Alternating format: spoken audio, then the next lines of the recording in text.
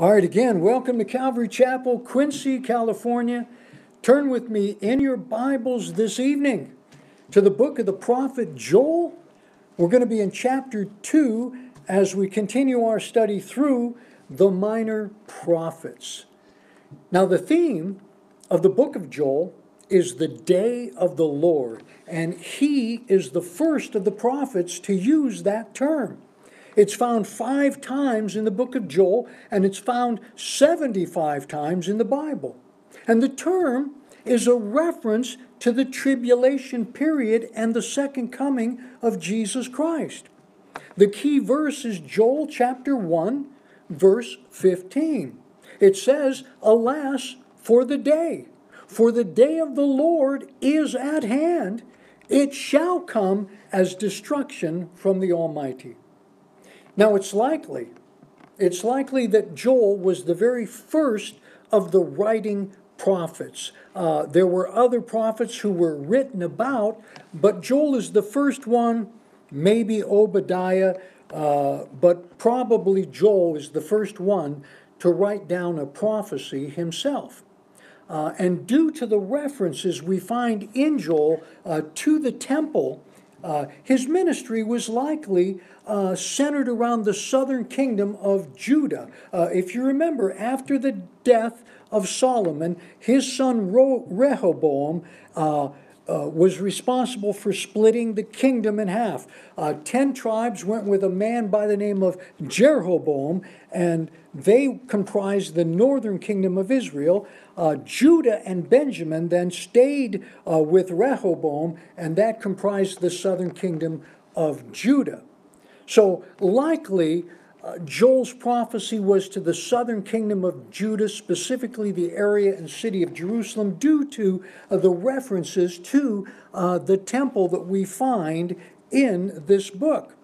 It's also likely that Joel was a contemporary of the prophets Elijah and Elisha. Now, those two prophets ministered to the northern kingdom of Israel, while Joel was ministering in the southern kingdom of Judah.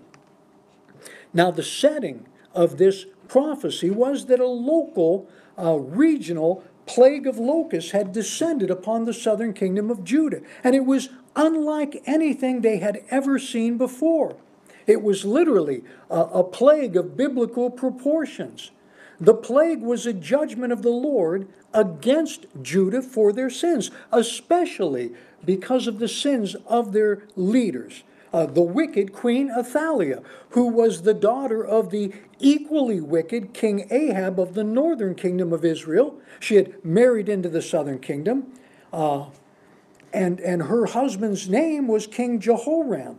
Uh, in fact, we read in 2 Kings 8, verse 18, about King Jehoram, it says, And he walked in the way of the kings of Israel, that is the northern kingdom, the kings that were wicked, just as the house of Ahab had done. For the daughter of Ahab, that's Queen Athaliah, was his wife, and he did evil in the sight of the Lord. So this judgment was due uh, to their wickedness. Now, while this plague was a local plague, the prophet uses this plague to expound on the coming day of the Lord, uh, a term that's used, as I mentioned, to speak of the tribulation period that will precede the second coming of Christ. And now, as, as is often the case with Old Testament prophecy, a local event becomes a model or a type of a coming future event prophetically. And this is the case here as Joel weaves in and out of events, both local and future. So it's, it's best to see that Joel uses the plague of locusts to speak prophetically about the coming judgments of God that are associated with the day of the Lord. So if you're not already there, turn in your Bibles to Joel chapter 2, verse 1.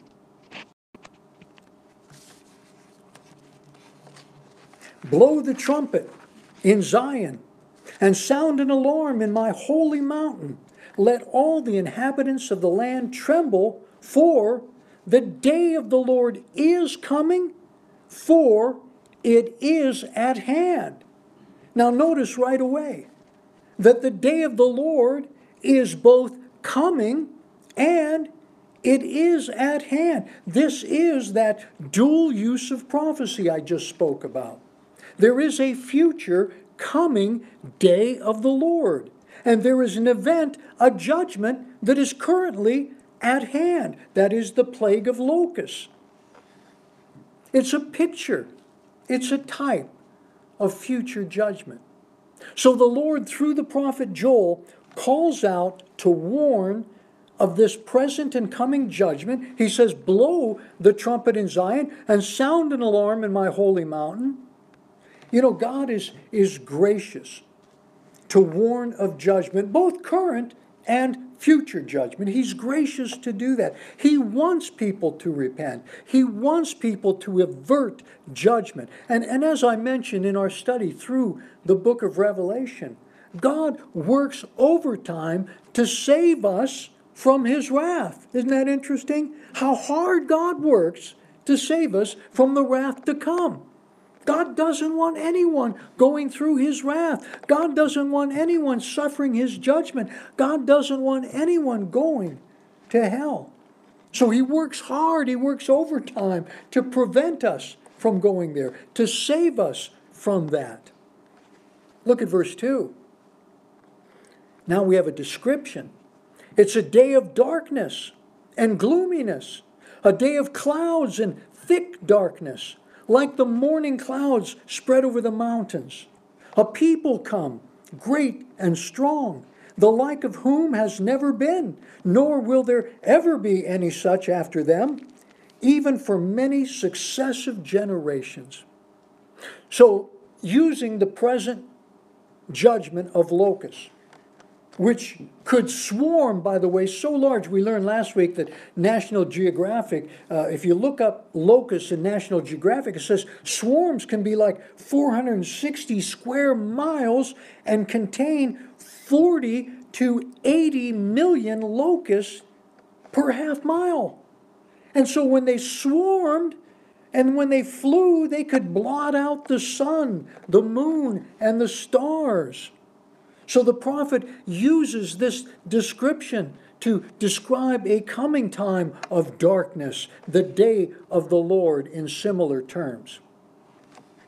And, and I want you to notice here, too, that the world is not going to get better and better before the Lord returns. I wish it would.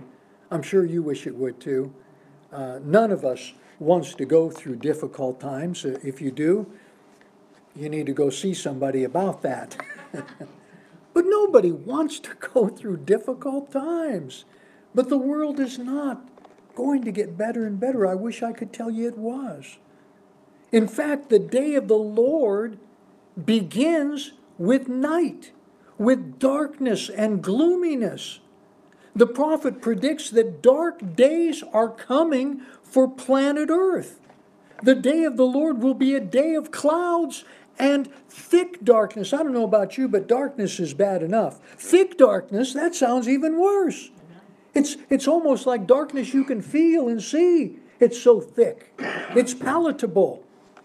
It's a day of thick darkness. In fact, we read in Revelation chapter 16, we're going to see this when we get back together uh, in the book of Revelation after Resurrection Sunday, but in Revelation 16:10 it says then the fifth angel poured out his bowl on the throne of the beast, that's the Antichrist.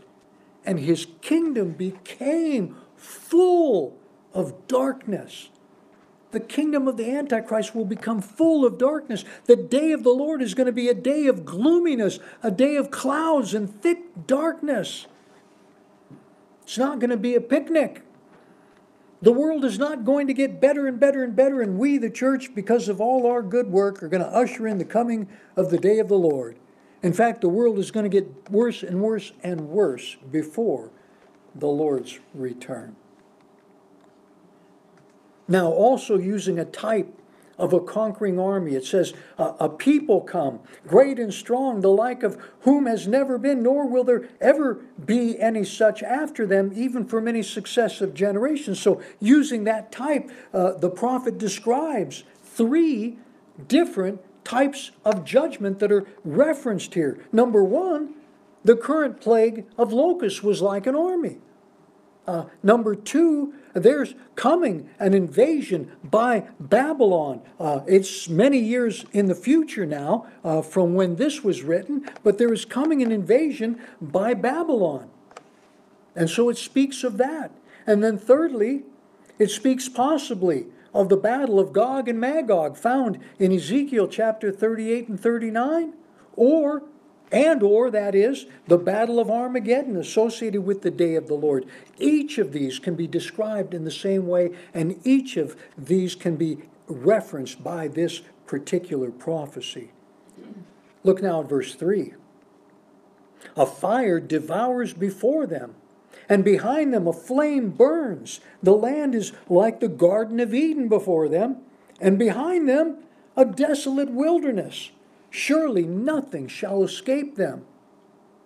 In chapter 1 of Joel, we read that the plague of locusts was followed by a drought, and the drought was followed by wildfires. The current judgment was destructive, and the future judgment of the day of the Lord will be destructive in a similar way. In fact, we read in Revelation chapter 8, verse 7, that a third of the trees were burned up, and all the green grass was burned up. So, a very similar event is going to happen prophetically in the future. Before the locusts came upon the land, the land was like the Garden of Eden before them. It was green, it was lush, stuff was growing. But after they left, it says, and behind them a desolate wilderness. Surely nothing shall escape them. Similarly, in the last days, there will be complete and utter destruction upon planet Earth and its unbelieving inhabitants. In verses 4 and 5, uh, they're described. It says, Their appearance, that is, the locust, using the metaphor of an army, their appearance is like the appearance of horses and like swift steeds. So they run. With a noise like chariots, over the mountain tops they leap like the noise of a flaming fire that devours the stubble, like a strong people set in battle array. How many of you ever seen a locust up close? I've only looked at them online, but a locust, their, their heads resemble horse heads. In fact, the Italian word for locust means little horse, and the German word for locust means hay horse because they ate all the hay. They ate all the all the stuff and they had heads that looked like horses. And you can also imagine the sound that billions of locusts would make as they flew overhead. It says, with a noise like chariots over the mountaintops, like the noise of a flaming fire that devours the stubble, and like a strong people set in battle array. This is figurative language as indicated by the, the use of the word like. So the prophet Joel weaves in and out of a present judgment and future judgment in this description. It says, starting in verse 6, it says, Before them the people writhe in pain. All faces are drained of color. They run like, like, again, figurative language, like mighty men. They climb the wall like men of war. Everyone marches in formation, and they do not break ranks. They do not push one another. Everyone marches in his own column. Though they lunge between the weapons, they are not cut down. They run to and fro in the city. They run on the wall. They climb into the houses. They enter at the windows like a thief.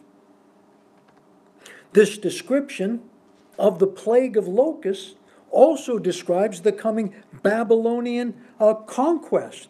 And it describes the battle at the end of the age, the day of the Lord. Each of these caused the people of Judah to writhe in pain due to the destruction they bring. The locusts are like mighty men, they're like men of war, but the Babylonians are men of war and, and are men.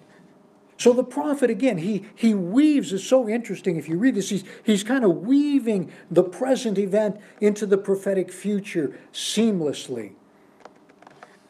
The description given here is also of a disciplined army.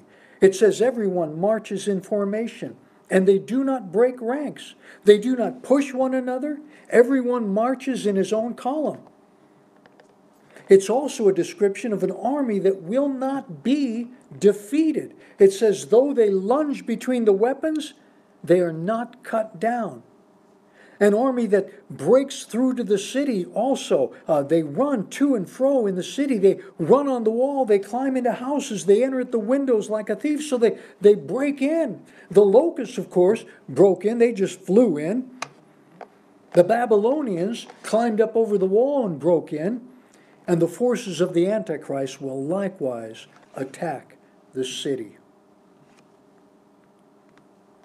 In verse 10, it says, The earth quakes before them, the heavens tremble, the sun and moon grow dark, and the stars diminish their brightness.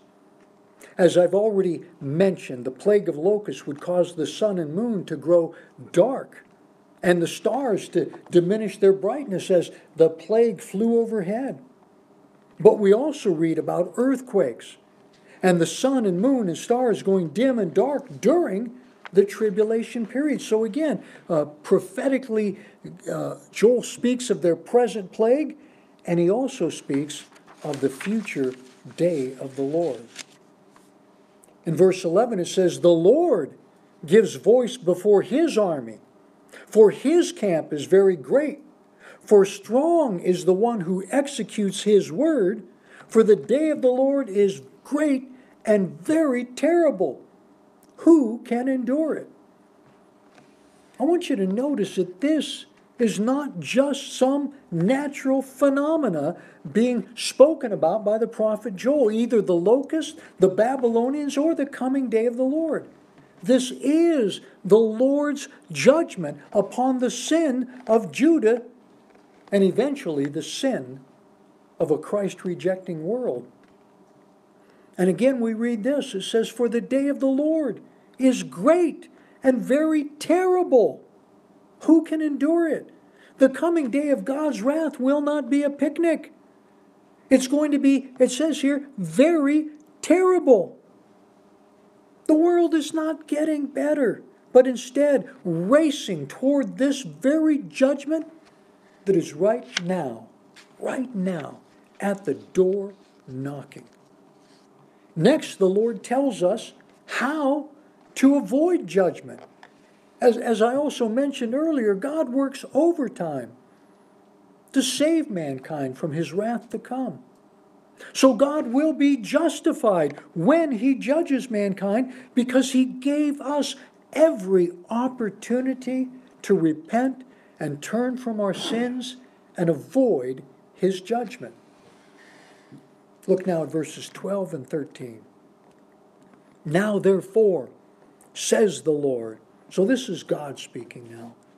Now, therefore, says the Lord, turn to me with all your heart with fasting and weeping and mourning. So rend your heart and not your garments. Return to the Lord your God, for he is gracious and merciful, slow to anger, and of great kindness, and he relents from doing harm. God doesn't want to do us harm. It says God's not willing that any should perish, but that all should come to repentance. He wants to save us. He wants to save us from his own wrath. But we must recognize our sin and turn to him with all our hearts. And if necessary, turn to him with fasting, with weeping, and with mourning. We, we need at times to get serious in our repentance. Also, we need to be genuine in our repentance. It says, So rend your heart and not your garments. You see, repentance is not just some outward act where you come up front and you kneel down, where you, you tear your garments like the Jews used to do in anguish. They'd rend their garments as a sign uh, of contrition. Anybody can tear you your shirt. Anybody can come walking up here and kneel down. I've been in churches where whenever you do an altar call, the same people come up every time. And you wonder, what, it didn't stick the first time? You need to get saved again? You know, it's got to be a rending of the heart. It's a heart work. It's not an outwork. And that doesn't mean that, that, that the emotions don't follow the heart at times. Amen? Sometimes we're so moved by the Lord, we, we do fall on our knees. We do cry out. We do repent. We do uh, things outwardly because inside there's a work going on in our hearts and lives. Amen? But just to do the outward without the inward is of no value. The heart must be rent. We must be truly sorry, truly repentant of our sin. In fact, repentance means to change our mind. We were thinking or acting one way, and we turn and think and act another way. In this case, we agree with God and turn from our sin to God and to following His ways. And we do this not out of fear, but because he is gracious and merciful, slow to anger, and of great kindness. And he relents from doing harm. We turn back to God because we know God and we know He loves us. We know He's good. We know He will forgive us. Amen? Amen. So we turn back to the Lord. We know when we screw up and we turn back to the Lord because we know Him and we know He will receive us. Amen. Just like the, prodig- the, the, the parable of the prodigal son, right? He left the father's house, wasted all his, his inheritance on wild living, came back, and on his way back, the father saw him and ran to meet him and embraced him. And, and that's a picture of our God, our Savior. When we turn and come back, He runs out to meet us. He embraces us. He receives us. He loves us again. And so we turn back to God because He is gracious and merciful, slow to anger, and of great kindness. And He relents from doing harm. In verse 14, it says, Who knows if He will turn and relent and leave a blessing behind Him, a grain offering and a drink offering for the Lord your God? You see, with God, there is always, always hope. Amen? There was always hope with God. In the case of Judah, the hope was that they would have a harvest again. And they would then be able to offer sacrifice to the Lord, a, a grain offering and a drink offering for the Lord your God. Uh, we learned in the last chapter that because of the locust, because of the drought, because of the wildfires, they were unable to even offer any sacrifices like that of grain or drink to the Lord because everything, everything they had was being used uh, to sustain human life. But here we read that if they repent, they will again experience God's goodness. How many of you know that there's times in our life when we suffer need because of our sin? And when we repent, God comes to us and restores that which he has taken away. Amen? Amen? And hopefully, I'll tell you a story about that next week that relates to the rest of this chapter of Joel. Now, look at verses 15 and 16. Blow the trumpet in Zion, consecrate a fast, call a sacred assembly, gather the people, sanctify the congregation Assemble the elders, gather the children and nursing babes. Let the bridegroom go out from his chamber and the bride from her dressing room. Now, since these plagues affected everyone, then everyone was called to gather together. No one was to be excluded. This was to be a time of national repentance and national reconciliation with God. It will be at the end of the tribulation period that a remnant of Israel will finally repent and be reconciled to God. Now, the trumpet of verse 1 was a trumpet of warning, and now this trumpet is a trumpet of assembly. all Judah was to assemble.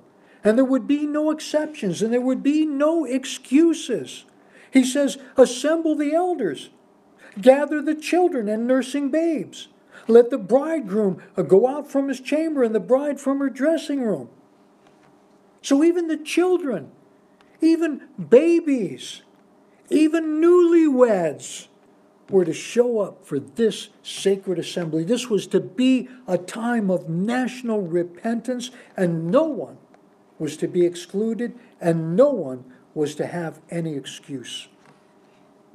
And I, I know I've mentioned this before, and you know I have to, but it bears repeating until we get it. We're at, we're at a crossroads in our own nation today. We, we as a nation stand on the brink of God's judgment.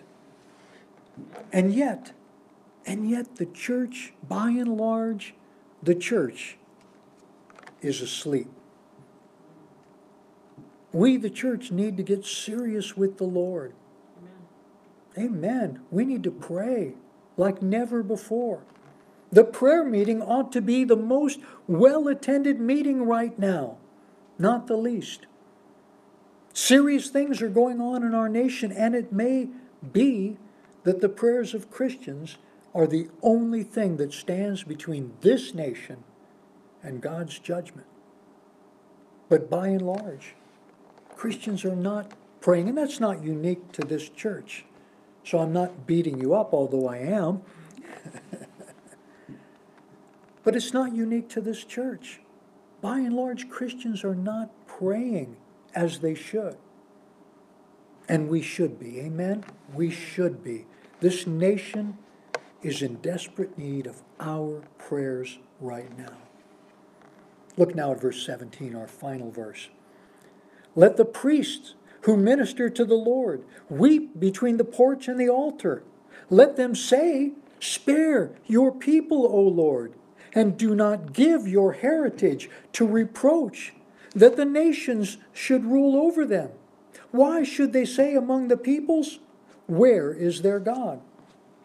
So, first and foremost, the spiritual leaders need to be leading in prayer and crying out to the Lord. It says, Let the priests who minister to the Lord weep between the porch and the altar. The leaders ought to be leading in prayer.